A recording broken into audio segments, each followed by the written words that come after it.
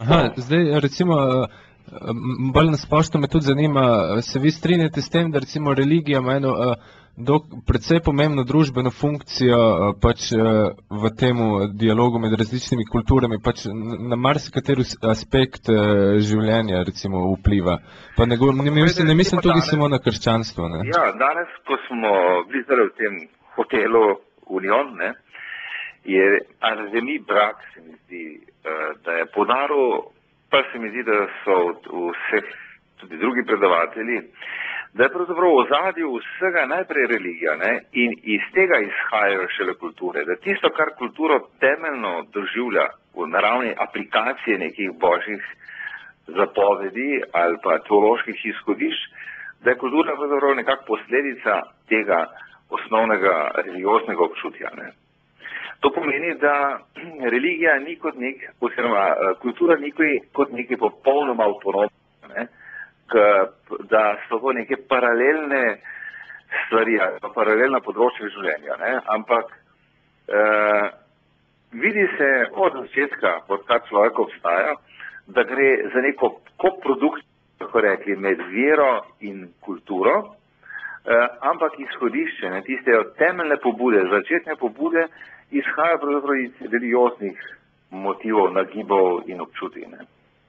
V tem smislu je religija pomembna in če je šlo morda v zadnjih 200 letih za konflikt, za napetost, za pozicijo izključevanja, je videti recimo tudi to, kar je današnjo dopolne pokazalo, da se religija v 20. stoletju ponovno vrača v življenje, vendar na drugačen način, na nekonflikten način, uh, v smislu sožitja in zaradi pluralnosti sodobnega sveta, tudi v smislu iskanja novih platform, na osnovi katerih bi se sploh lahko sporozumevali med seboj.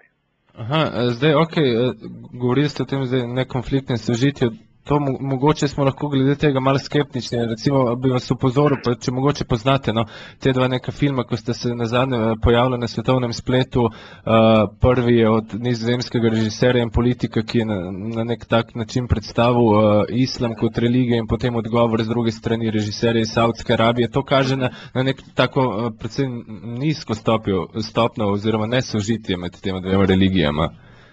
Ja, jaz vidimo v, v, v Evropi so zelo različna te teženje ljudi iz različnih krogov prihajajo pobude, kjer so zato, da stvari zaostrujejo, da drug drugo izključuje in se mi zdi, da to neko neodgovorno ravnanje, da ti ljudje, ki to počnejo, ne vedo, da moramo skupaj živeti, da so pred vsemi nami isti veliki skupni problemi.